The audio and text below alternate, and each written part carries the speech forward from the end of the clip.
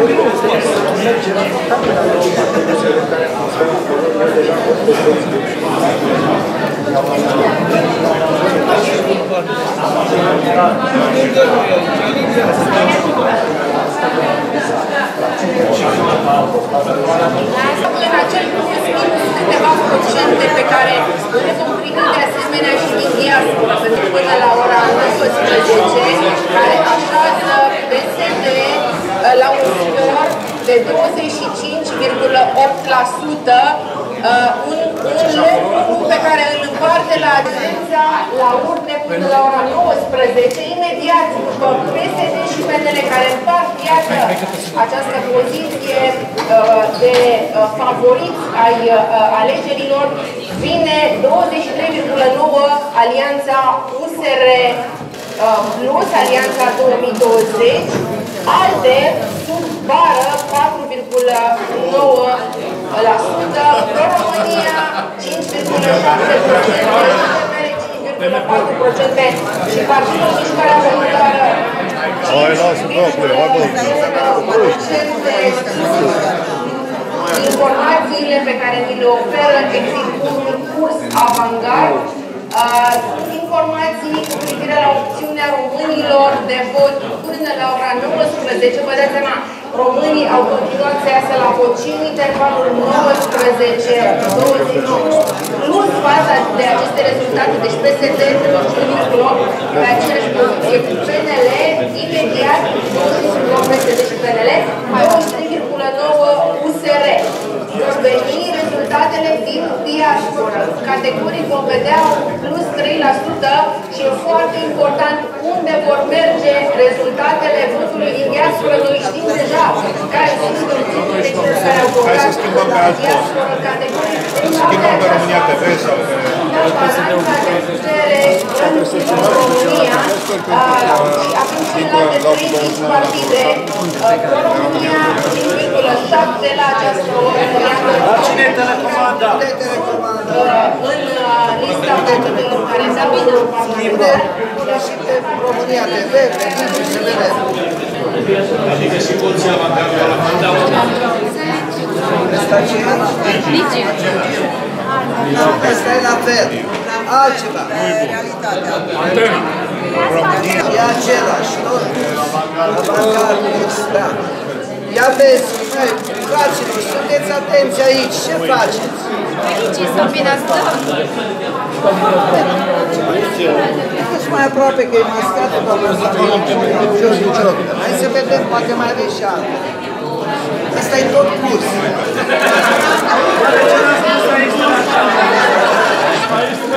Pe dar nu știți că ce e bun se lasă la urmă.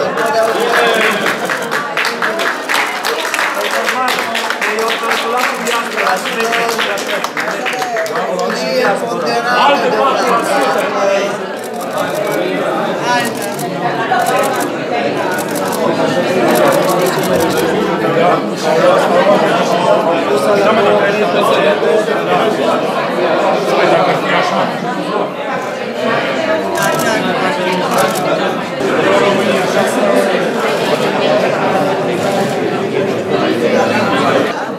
Asta cine l-a făcut?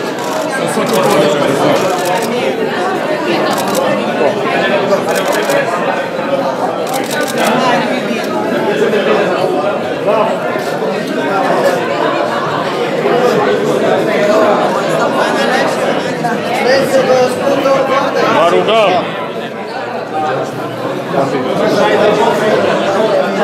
Un pic de liniște dacă se poate.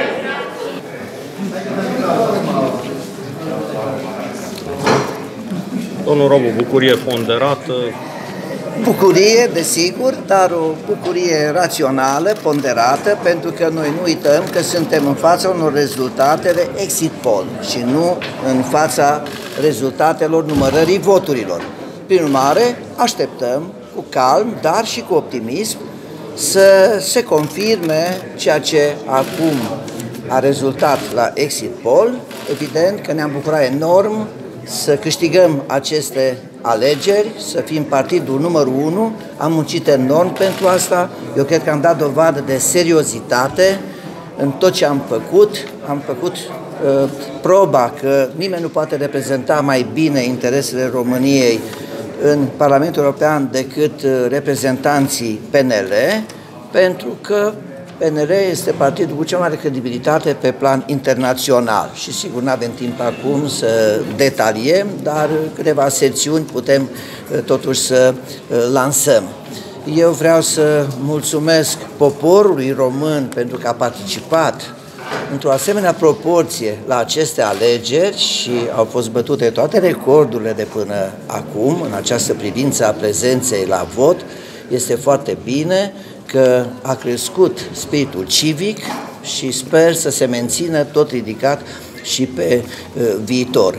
Mulțumesc tuturor colegilor liberali care fiecare și-a făcut datoria, am muncit foarte mult, cum spuneam, să ne promovăm mesajul, să ne promovăm uh, lista de candidați la Parlamentul European și de asemenea am promovat și importanța referendumului inițiat de președintele Claus Iohannis, președinte, să nu uităm și ne aducem aminte cu plăcere și suntem onorați de fiecare dată că Partidul Național Liberal l-a promovat pe domnul președinte eh, Iohannis prin voința poporului român într-o majoritate a sa în această poziție, poziție pe care domnia sa o onorează din plin și reprezintă din ea eh, cu, așa cum se cuvine, cu demnitate, țara noastră, poporul nostru. Îl felicit pe domnul președinte pentru curajul de a lansa acest referendum, pentru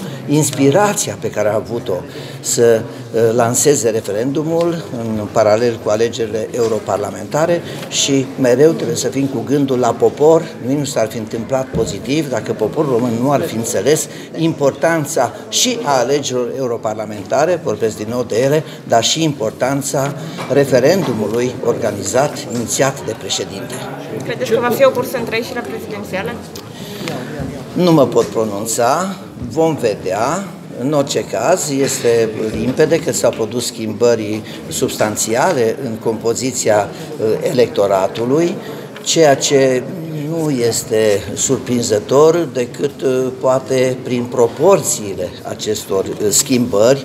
Noi, mai ales cei care și trăim în aceste orașe mari, în orașele cu multe companii mari, unde sunt angajați foarte mulți tineri, tineri care relaționează între ei, care sunt uh, solidari și își propun țeluri comune.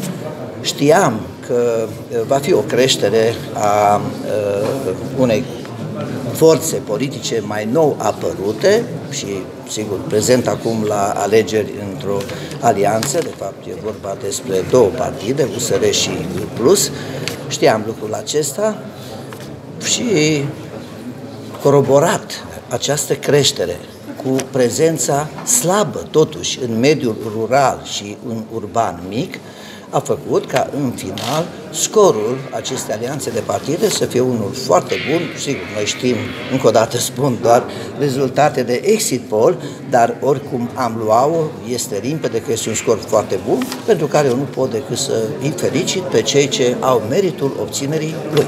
Ce ar însemna pentru PNL o victorie a alianței USR Plus în Timiș? Nu-mi place să discut uh, nici măcar ipoteze pozitive, dar rămite de tipul acesta. Vedeți că PSD-ul începe să fie în vie în sfârșit în România? PSD-ul a pierdut categoric. Deci o primă înfrângere este rezultată în urma uh, validării referendumului toată atitudinea PSD împotriva referendumului și cu toată linia de conduită în disonanță cu ceea ce a vrut uh, referendumul, PSD-ul, iată, nu a reușit să se impună, putem spune că a pierdut, că a fost o bătălie, dacă vrem sau nu vrem, ea a existat, între uh, președintele Iohannis, susținut de PNL și de USR++, la referendum vorbesc, da?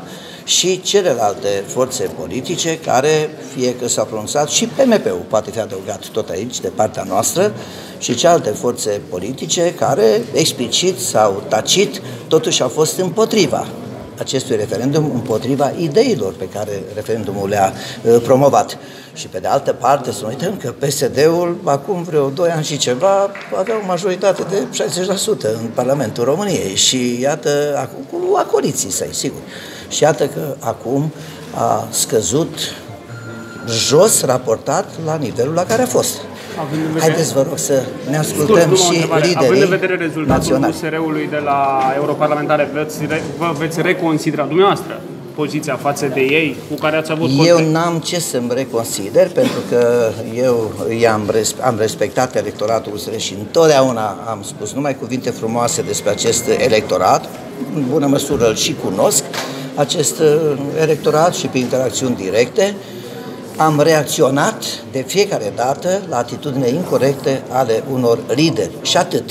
Ei trebuie să înțeleagă că adversarul pe uh, USR Plus nu este PNL, ci este PSD și noi liberalii trebuie să înțelegem că adversarul PNL nu este USR Plus, ci este PSD. Poate poporul român va vrea să avem alianțe. Păi dacă noi ne aruncăm cuvinte grele unii altora, va fi mai greu să funcționeze aceste alianțe. De aceea eu mereu am făcut îndemn la uh, ponderare și la respect reciproc. Dar nu sunt omul care să se lase uh, călcat de către nimeni și pentru nimic. cu adevărat cetățenii. Îi felicit pentru campania pe care au dus-o și de asemenea pentru faptul că s-au implicat în asigurarea victoriei referendumului convocat de președintele României. În ceea ce îi privește pe ceilalți, le spun clar celor care sunt astăzi la guvernare.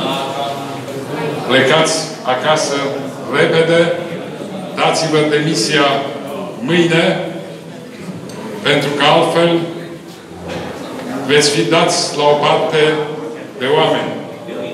Votul de astăzi arată clar că actuala coaliție majoritară nu mai are nicio legitimitate pentru a guverna România.